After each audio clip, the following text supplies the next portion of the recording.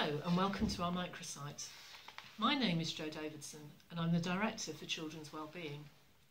I'm pleased that you've taken the time to find out about this Assistant Director's post and I'll be even more pleased if you like what you see, you think you're a good match and you decide to apply for the post.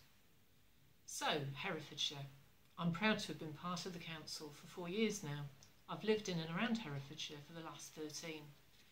As a place, it's got incredible countryside, history, culture, and a particularly thriving arts, craft, and food and cider scene, and much more. As well as villages, market towns, and a city to live in, it's got good access to Birmingham, Bristol, Cardiff, and the motorway network, so you get the best of being part of a rural community and be connected to city life. We're also quite proud of our international border. The people here are proud and extremely resilient. Different and changing communities get on well together and we have one of the highest volunteering forces in the country. Yes, we have safeguarding and budget challenges, the same as everywhere, but we have community strength to help deal with it.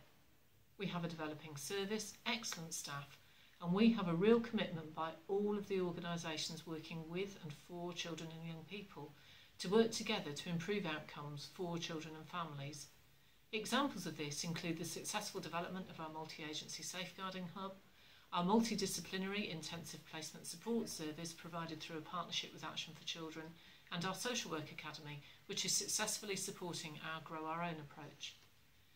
Our strategy is built on the fundamental belief that it's families and communities who bring up children best.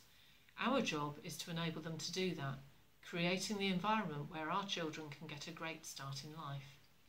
Where we do need to step in, we do that on a multidisciplinary basis, and our job is to protect children well. The Council sees children as its top priority, alongside protecting vulnerable adults and growing the economy, which is vital for the future strength and prosperity of Herefordshire and our children.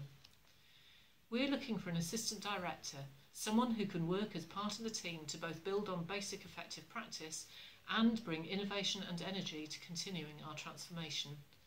Most importantly, this role helps build the environment where children do get that great start in life in Herefordshire.